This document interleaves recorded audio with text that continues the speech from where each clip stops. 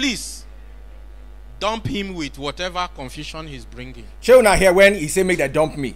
You are here your pastor dey shade me o. Mm-hmm. Use words and they only have meaning to the degree to which meaning is associated with it. Are we together? Praise the Lord. Now, let's take this implication further.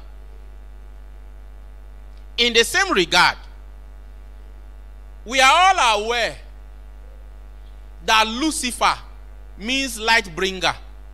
Hello? We are not confused. But currently, in view of the way the church has used that word Lucifer over time, there is a meaning that have been attributed and associated and had bound to that word. Reverend Daniel Ogidi. Tí lọ ọdún. If a lie persists for 20 years, when the truth comes out, what should you do? Should you not be correcting the church if the church has been in error?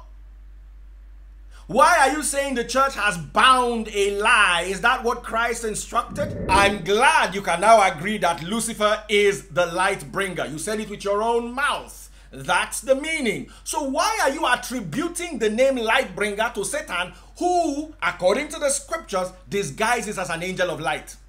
Why is your light bringer the prince of darkness? In John chapter 1 verse 4, the Greek term phoston anthropon was used to describe Christ, the light of all man. So you know that the light bringer is Lucifer. Why is Satan your own light bringer? Because the church has sold this lie for hundreds of years? Why don't you read John chapter 8 verse 32? You will know the truth and the truth will set you free. Or John chapter 16 verse 13. The Holy Spirit is the spirit of truth and it will lead you to all truth.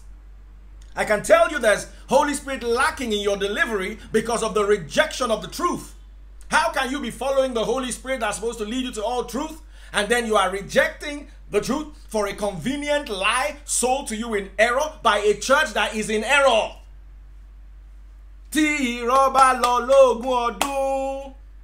John chapter 4 and verse 23. God is looking for those who worship him in spirit and in truth. Why are you pushing this lie? Let me tell you why. It's called belief perseverance for the furtherance of ignorance. Why base your doctrines on ignorance when Hosea chapter 4 verse 6 warns us that my people perish for lack of knowledge? Revelation chapter 22 verse 15 says, outside the city gates, sexual immoral, the murderers, the sorcerers, and everybody who loves and practices falsehood. Why are you propagating the practice of falsehood as a Christian doctrine? I come in peace. I greet you.